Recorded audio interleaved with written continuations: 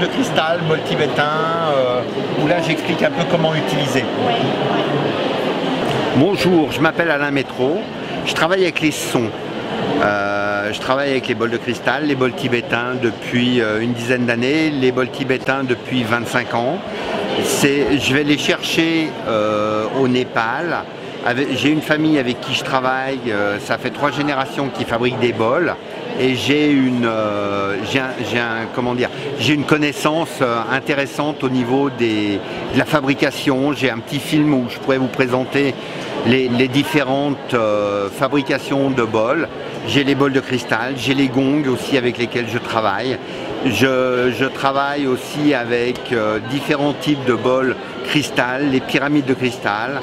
Je suis thérapeute J'adore un peu tout ce qui est sonorité. J'ai écrit aussi, j'adore et j'ai écrit un, livre qui s'appelle euh, Passion Bol, dans lequel j'explique un petit peu les différentes euh, techniques de soins avec les bols.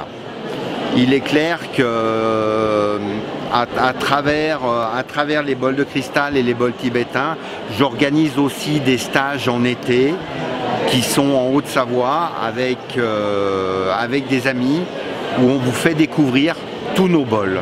Tous nos bols, les différentes choses, les gongs, les, les différentes sonorités. Moi et ma femme, on se fait un plaisir de vous présenter tout ça. Merci beaucoup.